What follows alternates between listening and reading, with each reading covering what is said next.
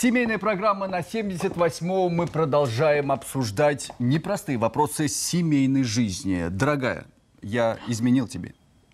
Так. Ах, вот так, Радик Миргалиев. Все вот, с тобой понятно. К сожалению, больше половины семей в России э, слышат эту фразу. Ужасная фраза, на мой взгляд. Ужасная фраза, но вот э, есть люди, которые кричат в интернете об этом. Да, в интернете вообще нередко можно найти э, обсуждение на эту тему. Например, муж признался в измене, но самое ужасное, он сказал, что любит ее. И, конечно, люди получают отклик и сотни-сотни советов на это. Ну вот отвечают, ситуация тяжелая но не смертельная. Поверьте мне, еще и не прошло двух месяцев, как я узнала об измене мужа. Мы в браке почти 20 лет. У нас трое детей с 18 лет вместе. Я женщина сильная и сама, и сама решила, что пусть идет э, к ней. То есть отпустила. Но он, как порядочно, решил, что останется в семье. Ведь э, нас он любит. Да, интересная история. Но здесь долгий брак, конечно, еще бы. Но другие знающие люди на форумах говорят э, так. Мужчина признается в измене только в одном случае, когда боится, что любовница настучит сама вам об их связи. И иногда это, правда, оказывается так. Но несправедливо будет не сказать, что и мужчины тоже страдают от измен. Узнала от гражданской жены, что она мне изменяла с каким-то парнем в течение трех месяцев. Сейчас говорит, что их отношения уже закончились, и ей противно за себя и за свой поступок, что поняла, как любит меня и нашего ребенка.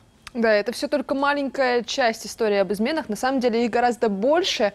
И почему вообще измены возникают? Кто на самом деле в них виноват? Мужчины, женщины, оба партнера. Ну вот об этом сейчас будем разговаривать. Ну, конечно же, кто не как лучшие эксперты Петербурга сегодня у нас на диванах готовы разъяснить и может даже помочь тем, кто любит изменять. Дмитрий Альшанский, психоаналитик. Лев Моисеевич Щеглов, доктор медицинских наук, профессор и врач-сексолог. И Елена Викторовна Иоффи, доцент кафедры психотерапии и сексологии университета имени Мечникова. У нас такая сильная компания сегодня, команда. Да. И тема тоже сильная, непростая. Тема тоже сильная и непростая.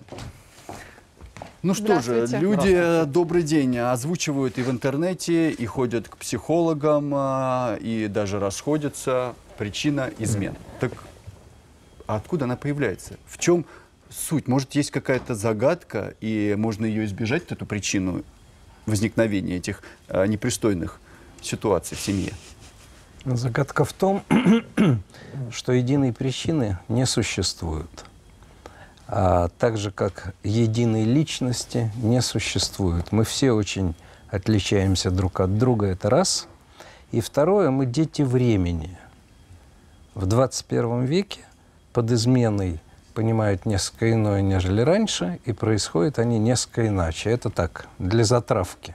А, а что, что же раньше? Да, да, раньше, что раньше что понимали? Сейчас? Раньше же, например, были жесткие законы. Если жена изменила, ее Совершенно закидывали верно. камнями. А сейчас в 21 веке нет таких законов, и женщины по статистике теперь больше изменяют, чем мужчины. Лицемерие раньше тоже было представлено очень широко, скажем.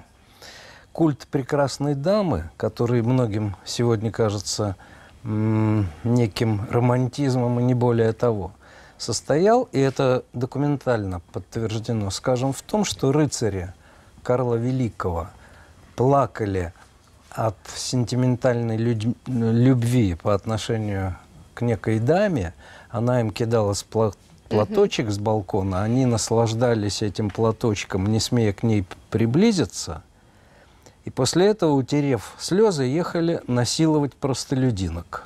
Вот так вот. Вот так. А вот. сейчас что происходит в современном мире? А сейчас э, есть такое понятие сценарий. Угу. Вам оно, наверное, понятно. А сценарии поведения человек выстраивает очень сложно, это долгий разговор. Сегодняшний человек характеризуется колоссальным количеством индивидуальных сценариев.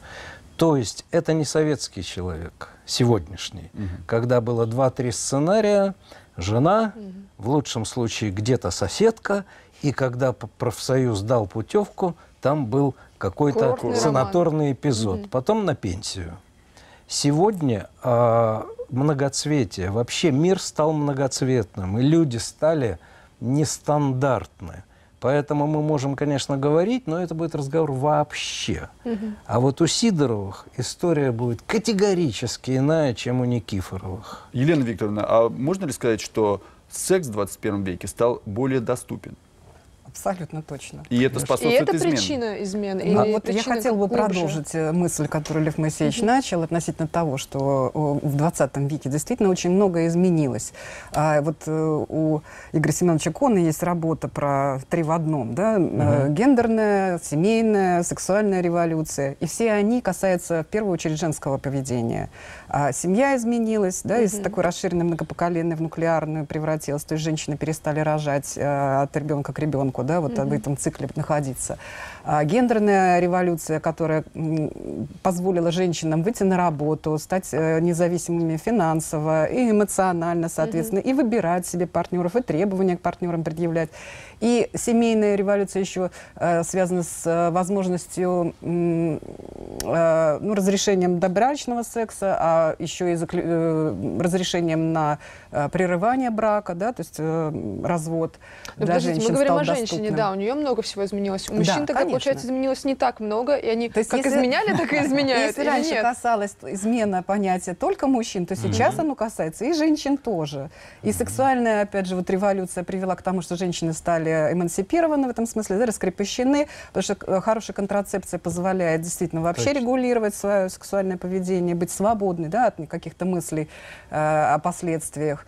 Поэтому женщины здесь тоже стали такими активными субъектами м, сексуальных отношений, стремления к удовольствию. Так что да, в получается, сексе. что э, вот эта свобода, э, контрацепция и все остальное делает э, институт брака практически ничтожным, что ли? Ну, то есть э, те, те правила, которые были испокон веков, они теперь не Не обязательно. имеет значения, что ли? Да, Что думают на это психоаналитики? Ну, давайте по порядку. Коллеги верно сказали, что миллион разных сценариев, и чем дальше, тем больше. Что такое измена, предательство, да? Я что-то обещал, а потом я что-то нарушил. И вот в этом случае я предал. Да, это касается не только супружеских отношений, любых. вообще, в да? принципе, да, я обещал, а потом сделал. И когда я в своей практике работаю с подобными случаями, я спрашиваю, а партнер вам обещал когда-нибудь до конца дней заниматься сексом только с вами? Ну, так клятва. оказывается, что нет. А клятва что, это не обещание? А, Значит, по поводу клятвы. В середине 20 века абсолютно из всех юридических документов исчезло понятие адюльтер. Да? И это не является поводом для развода ни в одной европейской стране. Если муж или жена вам изменяют, это не повод для развода. Открываем документы и читаем, что такое брак. Да, это совместное ведение хозяйства. Вот если два человека ведут хозяйство, у них брак. По большому счету, они друг с другом не обязаны сексом заниматься. И общаться тогда, в принципе, тоже получается. но да, то есть совсем... а- а- а они не обязаны. И нигде не прописано, что они должны хранить друг другу верность и так далее. То есть даже на юридическом уровне понятие измена это такой же архаизм, как ба- бастарды, там прекрасные дамы и все такое прочее. Да? А это же- понятие 19 века. А как же словосочетание «супружеский долг»? Вот он же существует, откуда же Долг откуда его взяли? платежом красен. Плохое хозяйство не будет вам возвращения. Все понятно. Если у вас есть свои истории или вы хотите что-то спросить у наших экспертов, то звоните нам по телефону 3322-146 прямо в прямой эфир. Мы здесь вместе с вами разберемся и вас выслушаем. Ну, так, долг платежом красен, это мы уяснили. Ну, ничего хуже представить себе невозможно, когда люди занимаются любовью из, из чувства долга, из чувства обязанности. То есть это, это, это, эм, уже можно сказать, что их отношения убиты. Да, если они это делают, потому что они кому-то обязаны, кому-то должны. И тут сразу хочется спросить, а кому ты должен? Кто тебе сказал, что ты вообще должен этим заниматься? Но вот несмотря на то, что нет теперь, как мы поняли, такого понятия долг и все остальное, тем не менее, люди к измене, наверное, относятся не совсем позитивно, мне так кажется, мне так хочется верить. Я тоже так думаю, но э, подтвердят наши слова или нет, а петербуржцы сейчас узнаем. Мы э, вышли с опросом и с вопросом, как вы относитесь к измене. Плохо, конечно, плохо. Плохо. Отрицательно. Я, да, гулял. Но когда я сам люблю, я прям ни- никого на стороне не, не хочется. Очень отрицательно. Ой, очень негативно. Это прям, и что из мужской точки зрения, что из женской точки зрения, это недопустимо. Если выбрал, надо следовать своему выбору. это разрушает любые взаимоотношения, и это на самом деле, ну, просто проще поговорить и как-то попытаться решить проблему, нежели в тайне пытаться как-то изменять. Знаете, когда человек клянется вам, что я всю жизнь буду любить тебя, а потом такой раз находит себе девушку новую, и все, и... Я считаю, что это неуважение своей второй половинки. Вот смотрите, э, получается, что несмотря на то, что мы сейчас э, освободились от каких-либо обязательств, что секс стал намного доступнее, а молодежь в вопросе основная часть говорит, что это плохо, и Мне это интересно, недопустимо. чтобы сказали взрослые люди, которые уже умудрены Которые опытом, которые прожили, это. да, Это все. вот что Мы значит? не освободились. Вот коллега все, на мой взгляд, а, разумно а, произнес, но это 21 век. А очень многие люди живут в 20 а некоторые даже и 19 Даже молодежь, Это которая, это- в принципе, да, не застала Да, еще. да. Это ведь жизнь. Вот говорят, коней на, пер- на переправе не меняют. Мы же не можем остановить жизнь и добиться новых ценностей. Поэтому сегодня для одной пары сама измена – это ужасно. Для другой пары начинаются эти разговоры типа секс это не измена, лишь бы не было Любви. любовного. Для третьей пары нормально это измена. И это даже как бы декларируется. Для четвертой пары, мало того, я это знаю по пациентам, я без оценки сейчас говорю, не только принимаются параллельные сексуальные связи, но это обсуждается между ними. Но среди молодежи, вот это очень хорошее подтверждение, становится модным, а заставить невозможно ни, никак. Ни кадилом, ни прокламациями какими-то. уроками в школах? Нет, нет. Вот модно. Вот э, Елена Викторовна совершенно верно сказала. Несмотря на тысячи причин, знаменитая сексуальная революция, Битлз, не занимайтесь войной, занимайтесь любовью, дудочки, буддизм, разорванные джинсы, как бы беспорядочный секс. Много причин, и философских прежде всего. Но точной причиной это изобретение контрацептивов. Изобретение контрацептивов Ну, же подтолкнуло сексуальную революцию. Сейчас, сейчас Да. у нас а, очень модно среди молодежи, это очень хорошо, так называемое сексуальное поведение в виде серийной моногамии. То есть никаких вот этих устаревших клятв, ты у меня одна на всю жизнь, и лучше всего, чтобы до меня у тебя никого не было. Такие два девственника встречаются, а потом, как Эсмеральда и Квазимода, их прах находят где-то. Это сказка, ничего этого не происходит. Но молодые люди, и сейчас я тоже скажу, потому что этому есть конкретная причина, считаются модным, пока мы вместе не изменять. Это Но- всего лишь мода, получается? Да, это не... это мода. Этим занимаются в основном люди молодые с достатком и с хорошим уровнем образования и живущие в мегаполисах. А- о это будущее. здесь Сейчас не одну стоит секундочку. говорить? Но мы не изменяем друг другу, пока мы вместе. Но это совсем не факт, что до тебя у меня не было. Поэтому это серия, как бы Елена предполагается. Викторовна, а может- И после, возможно. Так может будет. тогда до брачных отношений не торопиться, а насладиться и заниматься секс- сексом с кем ты хочешь, чтобы вот ты насытился этим и и сказал, что я готов сейчас вступить в Этим брак. и невозможно насытиться, как и невозможно наесться на всю жизнь. Но я, Невозможно. я поддержу эту идею. То есть это На не самом поможет? деле, это то, о чем говорит Лев Моисеевич. Как раз э, так и происходит. В современном мире молодые люди экспериментируют, строят отношения, вступают в отношения и находятся в них до тех пор, пока они удовлетворяют интерес э, друг друга, да, пока они интересны друг другу, в том числе и в сексуальном плане, но сохраняя верность по эт- э, в этих отношениях. И вот говоря об измене, мы как раз и должны в первую очередь э, затронуть вот это вот важное понятие верность. Что такое измена? Это перестать быть верным другому человеку, да, то есть прекратить тот союз, который построен на эксклюзивности, на предпочтениях этого человека м, при вот такой когнитивной установке, отказав себе в э, сексуальных отношениях с другими людьми. Подтверждая вот эту эксклюзивную сексуальную связь с этим избранным человеком. Это и есть та ценность, ради- которую, э, вот, э, к- когда происходит измена, происходит подтверждение того, что я перестал быть для моего партнера тем вот исключительным, неповторимым, э, эксклюзивным. Но некоторые... Позвольте я Да. две фразы врезко, чтобы добавить то, то- то очень важное, хотя это снижает романтизм. Вот эта мода на верность, которая замечательна, она, еще раз говорю, она не надута кем-то, чем-то. Это, может быть, немножко по-бухгалтерски будет звучать, но это прежде всего реакция на ВИЧ-инфекцию. Мгм. Да, Ничего потому себе. что мы с тобой... А у некоторых вполне осознанно. Мы с тобой вместе, и если ты будешь мне не верен или не верна, я что, должен пользоваться вот этими защитами, которые снижают ощущения, ну, будем говорить о презервативах и Да. прочее. Зачем? А если мы доверяем друг другу, мы не защищаемся. Но это предполагает верность. Мгм.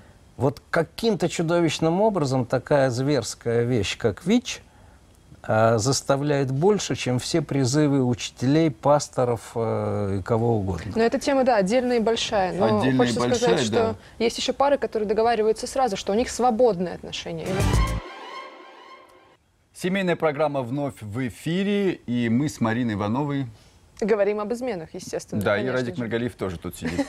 78% мужчин считают, что измена – это плохо. Их поддерживают 80%, 84% женщин.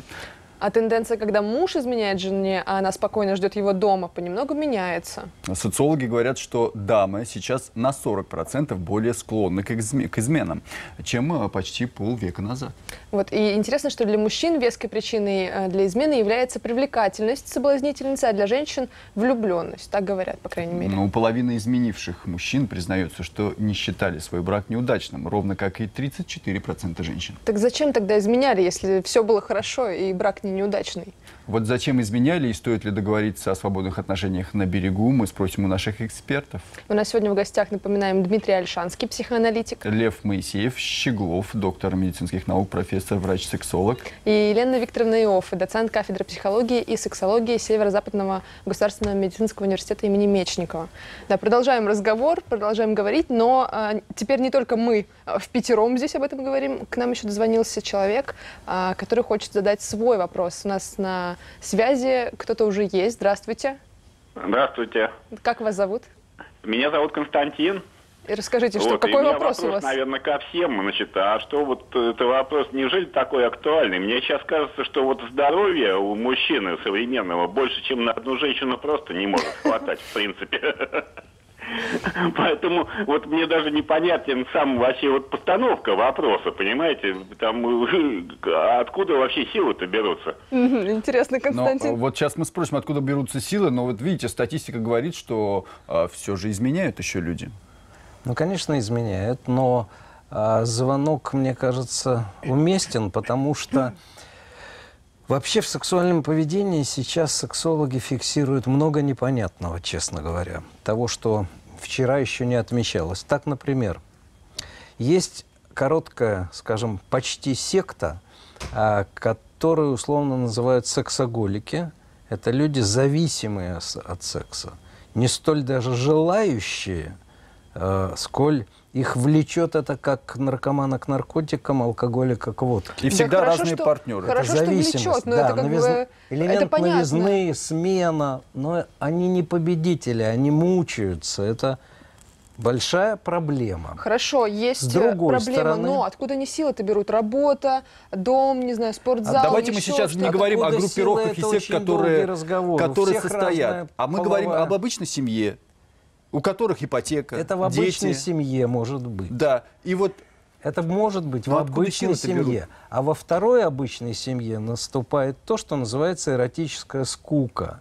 Когда человек соматически здоровый, психически здоровый и сексуально здоровый, секс по шкале ценности ставит ниже, чем вкусный ужин, беседа с друзьями, хобби, поехать на рыбалку. У него нет проблем. Но для него это как бы менее значимо и интересно. Дмитрий, вы тоже, я вижу, киваете. Вы согласны Да. с этим? Вот эта тенденция, которая прослеживается по- последние 15-20 лет. Ценность секса вообще резко падает. И в этом принципиальное отличие от э, эпохи хиппи, сексуальной революции 60-х, когда э, явно противопоставлялось э, не делай войну, делай любовь. Да? Теперь э, и с молодежью, когда общаешься, ценность, интерес к сексу резко падает, в этом ничего крутого нет. Это не прикольно, это не интересно, это такое же м, занятие, как попить там воды, да, почистить зубы. И поэтому какой-то особой пикантности во всем этом нет, поскольку нет запретов, нет и пикантности, да, запретный плод сладок же. А если это на, на рынке валяется просто тоннами и килограммами, что тут интересного-то, да? И поэтому у молодежи во- во- вообще нет такого там, а кто раньше занялся сексом, а у кого больше партнер. Э, Это в среднем, я говорю, да, тенденции. Понятно, что есть крайности такие и сякие. Э, Но в целом интерес к сексу э, резко угасает. Поэтому Ну. и измен меньше становится. Потому Но- что, ну а что тут такого? Но вот Ну, интерес к нашей теме все равно остается, потому что у нас на связи еще один человек, к нам дозвонился в эфир. Здравствуйте. Представьтесь, пожалуйста. Алло, вы мне? Да, да, мы Да, вам. здравствуйте. слушаем. Здравствуйте, здравствуйте, это самое. Хотелось бы спросить у э, членов вашего... э, Наших Господи. гостей. Вы- Да, да, это самое. Почему сейчас э, ставится практически везде знак вопроса между любовью и сексом? Это настолько разные вещи, просто, ну, вот весь город за, на асфальте везде это самое м, любовь, любовь, любовь. Там редко где секс или релакс. Даже плюнуть некуда, как говорят. Почему равенство такое? Я, правда, из прошлого века, как бы, но очень хочется знать. Никто не может на это ответить. Спасибо, Спасибо, вам вопрос, за вопрос. правда, я буду продолжать вот как раз уже начатую тему, тему ценностей. И как раз э, и этот вопрос, и предыдущий, они все вокруг вот э, этой идеи, да, э, разделения или знака равенства между любовью и сексом. Произошла определенная подмена в 20 веке этого понятия секс, да, то есть секс рассматривался как источник удовольствия. По сути, секс это, такая э, инструментальная ценность, не терминальная ценность. Стремиться к сексу, как это у подростков, да, такая идея была, э, вот, заняться сексом, и тогда ты будешь получать удовольствие. А оказывается, что ничего там такого интересного нет. И, для многих э, э, семейных пар, да, вдруг как-то ценность теряется, потому что удовольствие стирается, потому что есть в этом мире э, вау-эффект эпохи потребления, дает нам другие источники удовольствия. То есть вот возвращаемся к тому, что э, секс, он не может быть э, самоценен по, по себе. Да? Секс — это всего лишь способ коммуникации. Не больше и не меньше. Удовольствие, оргазм, да, который сопровождает, как правило, секс, да, вот сам как процесс, а, это природой заложенная как бы такая вот реакция, которая подтвер- подкрепляет привязанность к нашему партнеру. Ну, Опять раз же, мы возвращаясь с- к эксклюзивности сексуальных связей. Ну, раз мы которые- э, все вместе сошлись во мнении, что секс, секс обесценился, так может договориться на берегу а, с партнером своим, которым ты собираешься прожить все, весь остаток жизни, о том, что давай, дорогая, мы будем э, в свободных отношениях. Да, отношения, да. мы можем, э, мы спим с тобой, но иногда мы будем ходить налево-направо. Но это такое вот э, расчленение, получается, парциальное такое удовлетворение потребностей. Не все готовы к этому. Сама формулировка Не все И готовы. диссоциация Но все-таки стоит об этом поговорить с партнером. эмоционального и телесного. Да? То есть вот мы, как психологи, все время стремимся в своей работе к целостности, конгруентности, да? то есть к, возврату к себе да, человека. А в таких отношениях договоренности, да, когда я с одним человеком буду удовлетворять эмоциональные потребности, мне с ним хорошо, интересно, э, сидеть у телевизора, держаться за ручку, детей воспитывать совместно, а с другим партнером я буду заниматься сексом э, таким страстным, в котором будет буря эмоций, но при этом э, эти отношения будут э, краткосрочными, да, я буду там раз в неделю или раз в две недели, я не знаю, в, Вот, раз- в разных да, режимах. известен, известен формат свободных отношений Расчленение, да, такое 21 века. получается с- собственного я, да, я там, я тут, а где я целостный? Дмитрий, а что с А, формулировкой это- вы хотели это- сказать? э, э, сама формулировка это уже адское зло. Понимаете, свободные отношения предполагается не свобода какая-то в отношениях, что ли? Вот я э, всем Ну, и друзьям, и пациентам Ну, давайте говорю, говорить люди правду. встречаются для того, чтобы друг друга сделать свободными. И если вы входите в любые отношения, дружеские, товарищеские, любовные, сексуальные, и воспринимаете это как не свободу, на кой черт вам это надо? Это адский ад. Вот Но сама брак браком бы и не назвали бы тогда. Давайте говорить о том, подождите. фо- браке подождите. вообще не предполагается Подождите. секс, я вам только Ну что давайте сказал. говорить правду. Люди прожили 5, 10, 15 лет. Они устали друг от друга в плане физическим. Но не привлекает супруга уже меня сейчас так, как было это раньше. И человек идет за новыми ощущениями, тем, которые были в 18 лет назад, например. Да? Э, Но э, почему... Это, это- это ошибочное умозаключение. Да? Э, Меня что-то не он любит удовлетворяет. свою жену. Почему это не свобода? Значит, меня что-то не удовлетворяет.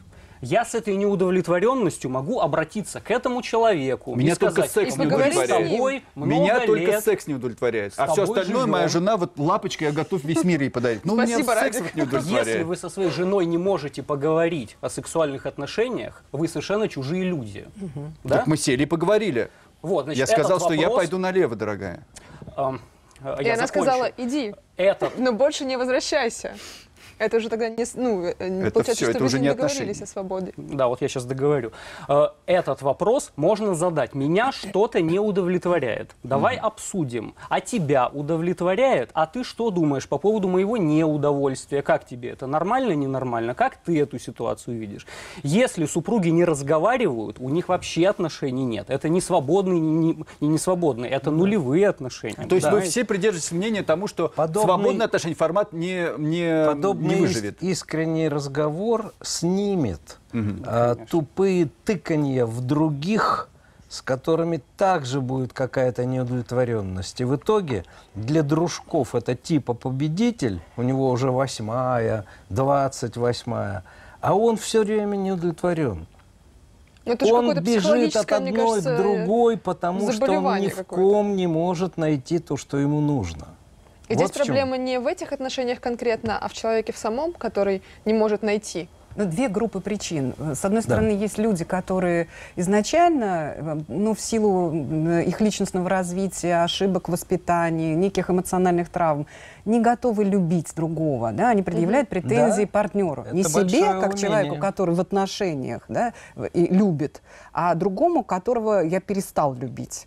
Он не тот, я пошел искать другого. Не факт, что он найдет. И иногда вот И второй, э, вторая группа причин это как раз-таки те отношения, которые специфически начинают развиваться. Если мы говорим про брак, про семью, про рождение детей, то там масса разных причин, которые влияют на то, что действительно секс уходит на, на другой план. Ну, например, у женщины, которая кормящая, для, ко- которая была до э, там, встречи, э, ой, вернее, до брака страстной, там такой прямо тигрицей, которая лапой могла прижать этого своего партнера. А тут она вся погружается в нежность, заботу о ребенке, и ей нужны другие сценарии. И если мужчина не подстроится, то, значит, их э, сексуальная жизнь обречена на... Вот я люблю перед рекламой задавать короткие вопросы и короткие ответы, без размытых фраз. Как следователь.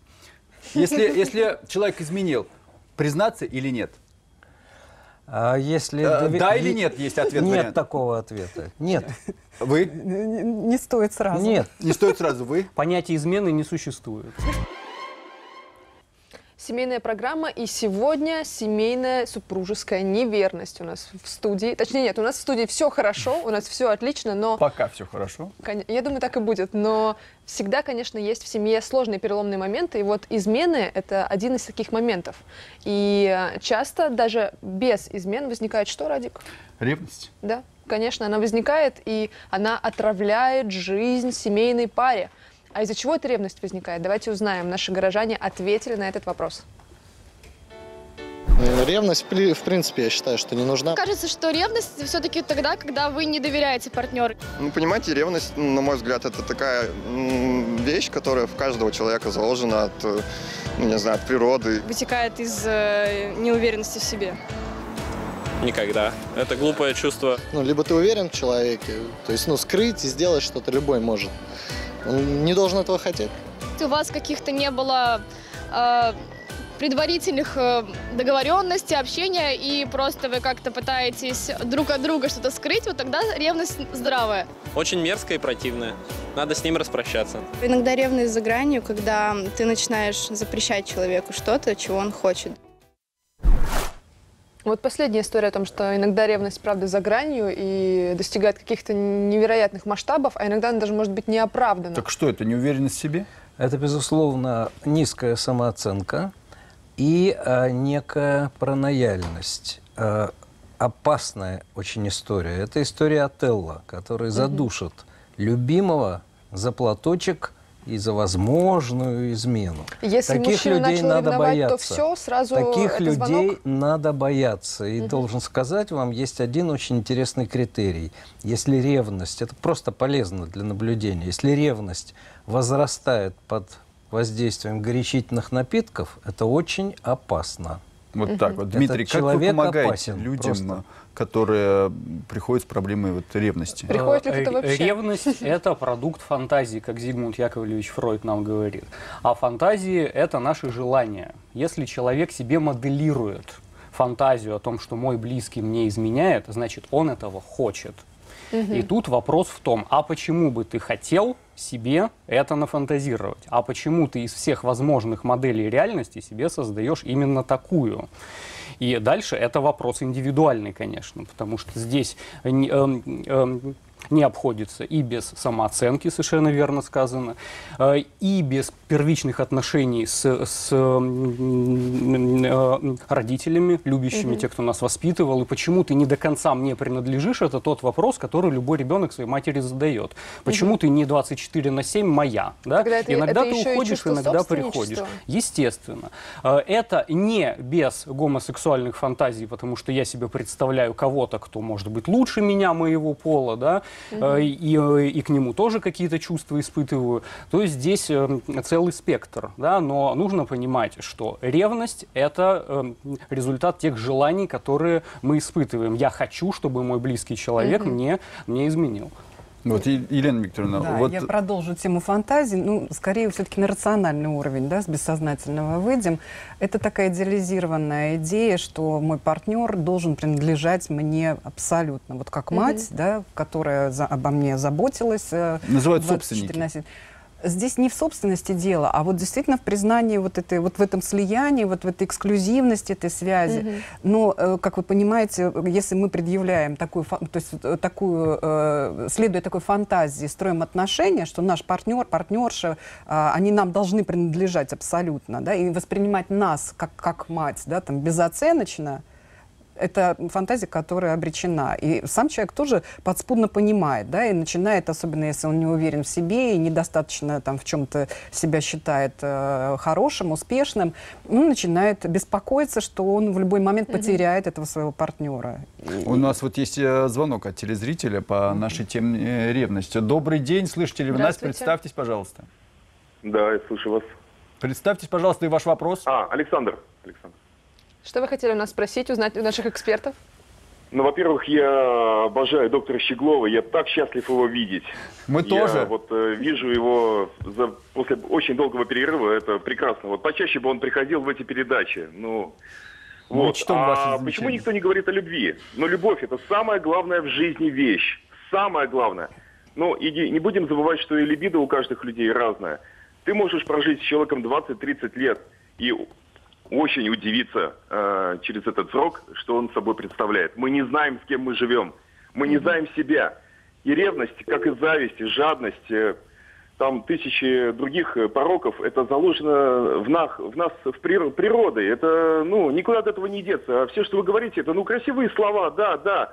Но окажись в этой ситуации, ты будешь человек со своими скрытыми чувствами. Никто никогда не узнает, какие это чувства. Ну, это очень сложно. Это, это не так просто. Ну, с одной стороны, это очень просто, но с другой стороны, это очень сложно. Спасибо вам, спасибо Такой за свое я бы мнение. сказала, да. комментарий. Нет, Мы забыли это, о это любви. очень важно. Э, Конечно, я считаю, что важно сказал человек, потому что он мне польстил, но на самом деле э, мы прошли тот период, когда пуританская советская страна считала очень важным сексуальное. И подростки, и все к этому тянулись, правильно, к запретному. Это исчезло. Сегодня сексуальность не так загадочна, как именно любовь. А что такое любовь? Как она происходит? Почему есть люди, которые умеют любить, и они сами любимы? К сожалению, это взрослые не хотят понимать, родители, э, там, не знаю, школа. Но в определенной степени любви надо, э, может, странную вещь скажу, учить Мгм. учить. У нас сейчас вообще поразительную вещь мы, сексологи, наблюдаем, что самоудовлетворение, не будем произносить медицинских терминов, не ночная передача, становится очень простой и легкой историей снять сексуальное возбуждение. И это зачастую предпочтительнее, чем выстраивать отношения. Я чувствую потребность, я сам с помощью определенного рода сайтов, которыми Мгм. набит интернет, и я сам снимаю это напряжение. А выстраивать отношения, почувствовать, что это за человек, открыться ему, это очень трудно, я этого не умею. Да, я с вами согласна абсолютно, но иногда трудно еще и контролировать э, ревность, вот, о которой мы говорили изначально. Вообще э, ре- ревнивцы, которые душат буквально своих партнеров э, какими-то подозрениями и всем остальным, с ними можно как-то бороться, с ними можно Как договориться и объяснить им, что... Вот сейчас нас смотрят зрители, у которых есть такие проблемы. ревнивцев надо бежать. Просто, тупо То есть бежать. никак не вылечить этого человека? Никак. А как бы просто психологически заостренный человек, разговор, полное открытие, доверие. Мы очень мало разговариваем друг с другом, мы все заштампованы в определенных границах. Даже Мгм. если я считаю, что это любимый человек. Спать с ним мне легко, и я не вижу в этом границ.